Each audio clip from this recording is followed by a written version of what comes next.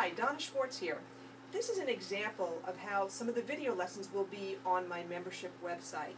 What I'm going to do in this introductory lesson is explain some of the concepts that I use when I teach my lessons, and I'm going to basically teach you how to play a, a fairly simple song, Hot Cross Buns.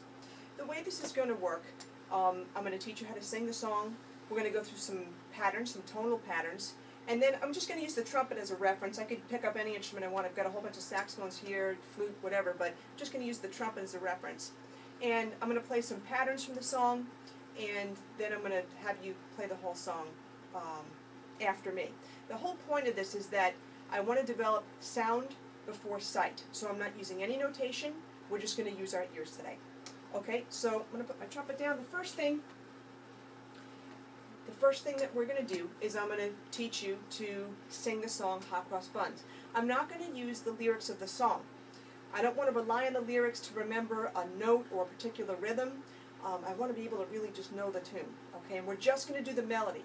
Normally when I teach my lessons I also the melody and the bass line, but we're just going to do the melody for now just to keep it simple and short. So I'm going to come over to my handy dandy piano.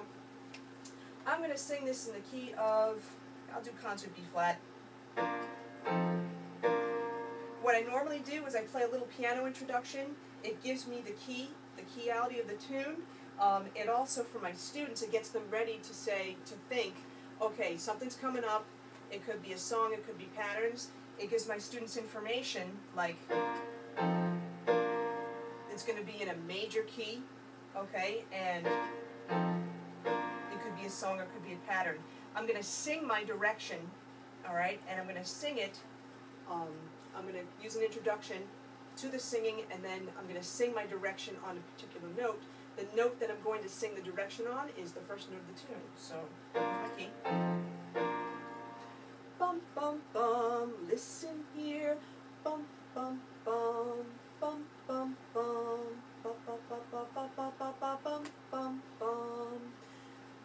Of you may recognize this is the song Hot Cross Buns. Okay, so now I'm going to sing that again. What I'd like you to do is this. This song is in a duple meter, so what I'd like you to do is I'd like you to move to the big beat. The big beat is basically the same as me putting a metronome on.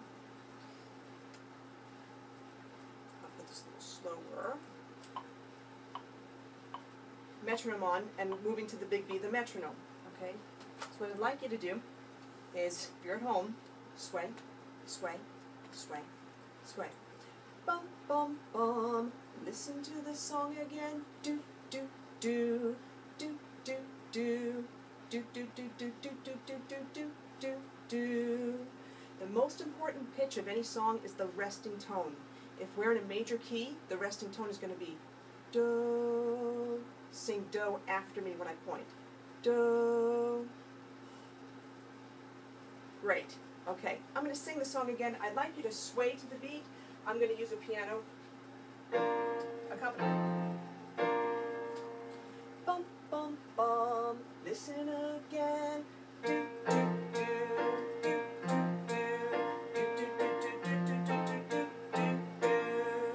Resting tone is do. Sing that pitch. Great. This is what I'd like you to do. The next time I sing the song, I'm going to break it up and I want you to be hearing do the entire time for the song. Every time I stop, I want I'm going to point, you're going to sing do. Okay, so here we go. We're going to sway again. Sway, sway, sway, sway. Bum, bum, bum. Listen again. Do, do, do, do, do, do. Rest Resting tone. Do. Do, do, do, do, do, do, do, do, do do, do. Resting tone. Excellent. If you noticed, each phrase ended with the resting tone of do. Great. Okay. I'm going to sing it again. This time what I'd like you to do, you just move to the big beats, right? Well, they're small beats. I'm going to tell you that we're going to feel them. Well, no. I want you to tell me, or you to think, what do you feel the small beats in? So I want you to sway sway, sway, sway. Bum, bum, bum. Listen again. Do, do, do, do, do, do, do, do, do, do, do, do, do, do, do. said the small beats were felt in sets of two, you were right, okay? And this song is in a duple meter. So this is what I'd like you to do. With your spider fingers, I call them. If, if those of you that have animals, if you have dogs, you notice how they have like little pads, little cushions on their on their paws. Well, we got the same thing, but I'm going to call it spider fingers. It's nice and quiet. We're going to take our spider fingers and tap on our thighs like this. Tap, tap, tap, tap, tap, tap, tap. Bum, bum, bum. Listen again. Do, do, do, do, do, do, do, do, do, do, do, do, do, do, do, do. Can you sing the resting tone? Do. Great. I'm going to combine two movements.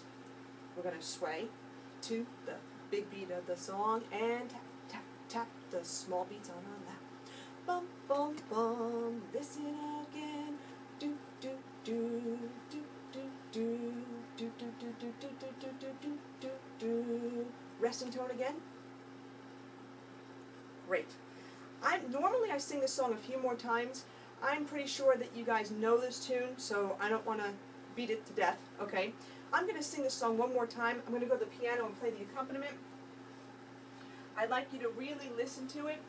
And what I'd like you to think about, think about the small beats. You can tap on your lap, the small beats if you'd like. You could move to the big beats or just sit and listen. Try to hear the resting tone.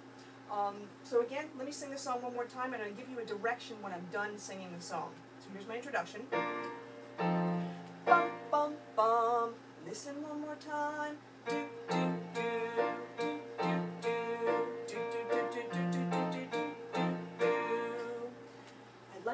Hear the song in your head without me having to sing it.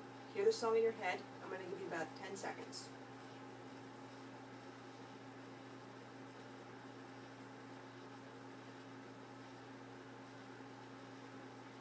How'd you do? Were you able to hear the melody in your head? If yes, that's great. If not, were you able to hear part of the melody? And if you were, fantastic. Don't worry if this seemed very difficult for you. Oh, this is a skill, okay, and this is going to take some time, but more the more times that you learn songs like this in this way, in this procedure, it's going to come a lot quicker and a lot easier. All right, so now you just sang Hot Cross Buns. You just went bum bum bum. You sang it like this. Do do do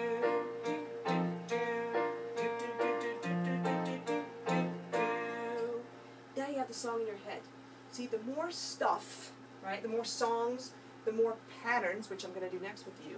The more stuff we can get up here, the more you're going to be able to play on your chosen instrument. Okay? So now, normally, if I do a song in major, I'll do tonal patterns in minor, okay, or I'll do rhythm patterns in triple or whatever. I'm going to keep it a little simple today. I'm going to do major tonal patterns, okay? So I'm going to go to my handy dandy piano. I'm going to pick a little bit of a higher key. I'm going to sing a pattern. When I sing the pattern, I point to me. When I want you to sing it back, I go like that. Bum, bum, bum. Bum, bum, bum. Bum, bum, bum. Bum, bum, bum. Bum, bum, bum. Bum, bum, bum. Bum, bum, bum. Bum, bum, bum. Now those were in three notes. That was a three note pattern. Two note patterns now. You noticed I took a breath before you were to sing. Okay, so I'm kind of getting you ready for uh, singing your part of the pattern. So again. Bum, bum. Bum, bum. Bum, bum. Bum, bum. Bum, bum. Bum, bum. Bum, bum.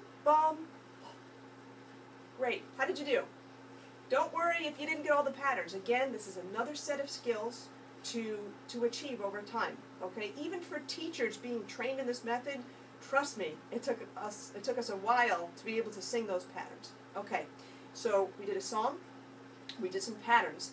Now the next thing we're going to do, I'm going to assume right now um, that you have some knowledge of at least three notes on your instrument, just to save some time. And the reason why I'm assuming that is because I want to teach you how to play hot cross buns on your instrument. I'm going to use the same key that we did when we sang the tune.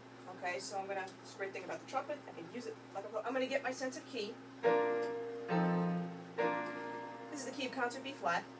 A lot of your band methods start in the key of concert B flat. So for a trumpet, clarinet, tenor sax, your three notes are E, which is going to be mi. I'm going to assume, uh, let mi backtrack. I'm going to assume that you have some knowledge of at least three notes on your instrument. Okay? Um, or you have a method book where you can look at a fingering chart. Just for the purposes of this introductory sample video, I want to be able to move this a little quickly. Alright, so this tune's going to use E, which is me, D, which is re, and C, which is going to be do. I'm going to use the mi, re, do's instead of the E, D, C's. For those of you that play different instruments, so you won't be confused. You're going to notice I sing a lot of my directions. I can't help it. It's just a habit. All right. Anyway, so for hot cross buns, we learned to sing it as do, do, do, do, do, do, do, do, do, do, do, do, do, do, do, do, do. Well, first thing I want to do is this. I sang it. I sang it perfectly. I was a rock star. That was great. Awesome. I know the direction of the melody. It went do, do, do was going down. That repeated do, do, do. Here's the only change. Do, do, do, do, do, do, do, do. Last phrase is the same as the first. Do, do, do. So if I get the first phrase, I got three quarters of the song. If I get that little thing in the middle, then I got the whole tune, which is great. So here's what I'm going to do. I'm going to first play some patterns on those three notes. I want to get the sounds in my ear. So for these, I am going to show you, um, I'm going to show you the first patterns, the fingerings. Then you're going to see me turn my back. Why am I doing that? Because I'm mean. No. it's because I want to develop your ears. Music is an oral thing. It's an oral experience, meaning hearing. If I, if you just follow my fingerings, you're not, you're not getting the whole picture. Okay, so some of you are going to not like that, but you know what? Just trust mi on that. Okay? So, the first pattern, I'm going to use E, which is me, and D, which is Re. I'm going to play with a little bit of a side shot so you get an idea of how I'm going to do this. I'm going to play the pattern. You're going to play it back as soon as I'm done. Okay, so I'm just going to make up any kind of patterns. This is not from Hot Cross Buns yet. Play that back. I'm going to start on Re and move up to mi.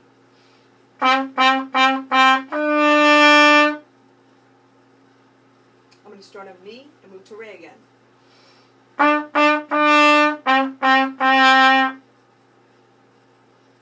going to start on Re and move up to mi. Now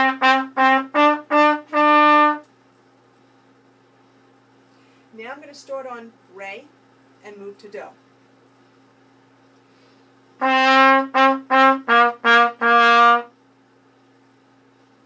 Start on Do, move to Re. Start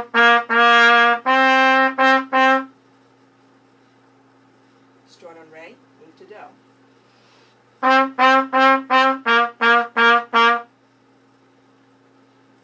Start on Do, move up to Re.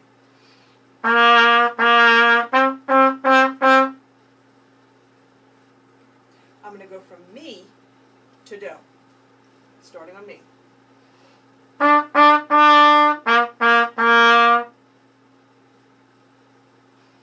On Do, move to mi.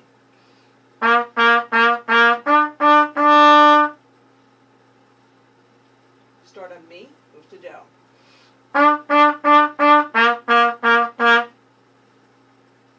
Start on Do, move up to mi one more time.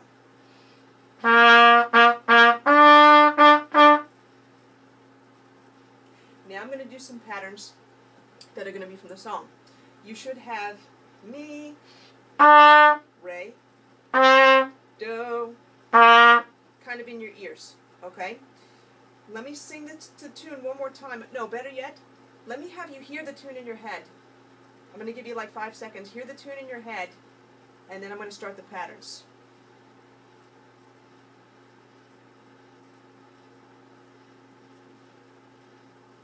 Okay. First pattern, song starts on mi. So this is going to be a, um, a short pattern. When I turn around and point, that's when I want you to play the pattern back. I'm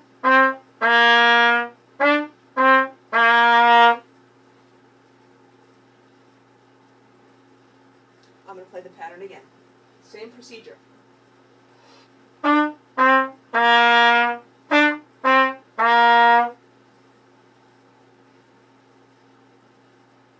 One more time.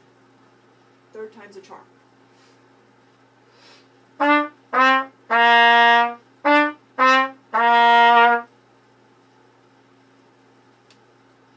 The next pattern I'm going to do is going to be, that was the first half of the song, by the way. The next pattern is going to be the next half of the song. This is a really short song. By the way, I should say this. You notice that I'm having you play the song the way you would sing it. I'm not having you play it the way you, you do it in a method book, which would be hot cross buns, rest, rest, hot cross. Who sings it like that? Really? No one does. So I'm having you play the song the way you would sing it. Now, normally in my lessons, we'd go over articulation styles, and I'd have you going in the air, then on the mouthpiece, then on the mouthpiece with my lips just a little separated.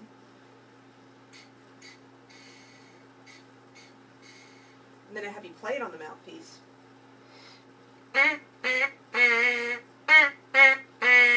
Okay, I'd have you do it that way. But I'm just saving a little bit of time right now. I just wanted to give you a general idea of how I would teach uh, a video lesson or even a lesson on Skype. Okay, so we went through the first half of hot cross buns. Okay, we did it three times. Here's the second half. Do do do do do do do do do do do. Think of what the starting note and the ending note would be. Do do do do do do do do do do do. Your choices are do, re, or mi. Okay, so think of the starting and the ending note. Think of the direction of the melody. Does it go up? Does it go down? Does it stay the same? Okay? So here's the second half of the melody. Again, I'm going to turn so that you're just focusing on the hearing. When I turn on a point, you play the pattern back. Second half of the song.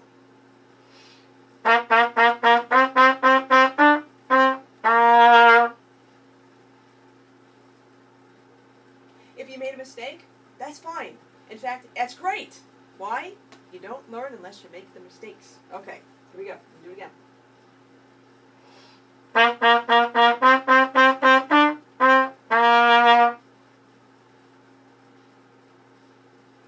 It's probably getting better. Here we go. Do it again.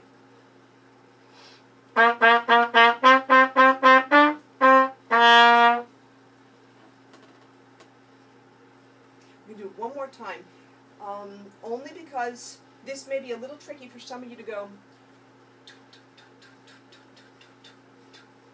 If it is, repeat that after me.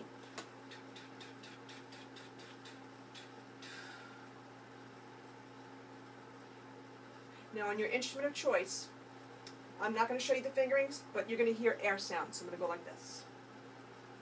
Repeat after me.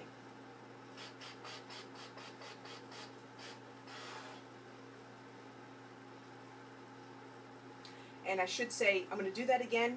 I'm going to do it with the fingerings of the song. That's why I turned my back. So repeat after me. Air sounds, articulations with the fingerings.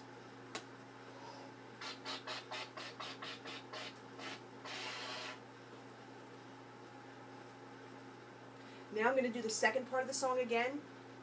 Do do do do do do do do do do do. Think of your starting and ending notes, and think of the direction of the melody. Repeat after me.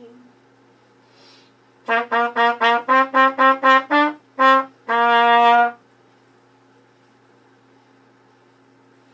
what I'd like you to do, hear the whole song in your head. Just quietly hear it in your head. What I'd like you to do is sit there and finger the song while you're hearing it in your head. So I'd be thinking, and I'm not going to show you fingerings, I'd be thinking, do, do, do, do, do, do, do, do, do, do, do, do, do, do, do, do. The only difference, I'd be doing the fingerings. Take 10 seconds, do that.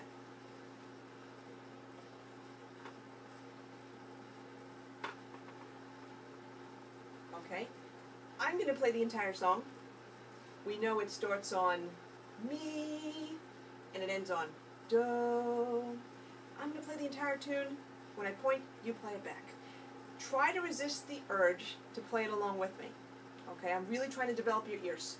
So listen to it as I'm playing it. You know what would be great? If you sat there and fingered it while I played it. And have it in a playing position while you're fingering it so you could, boom, just play it as soon as I'm done. Okay, so here's the tune. Bum, bum, bum. Repeat the whole song after me.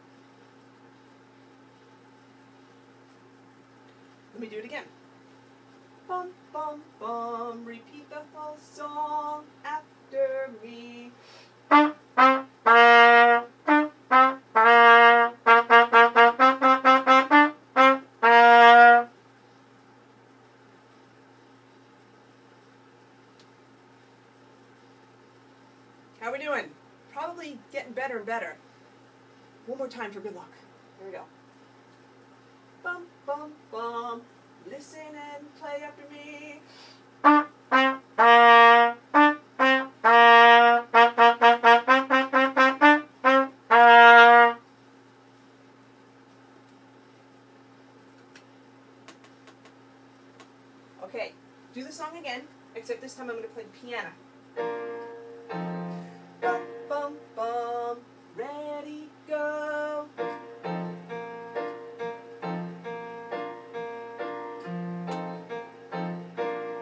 Congratulations, you did it! You played Hot Cross Buns, and you played it the real way. The real way is the way you know the tune, the way you would sing the tune. Okay?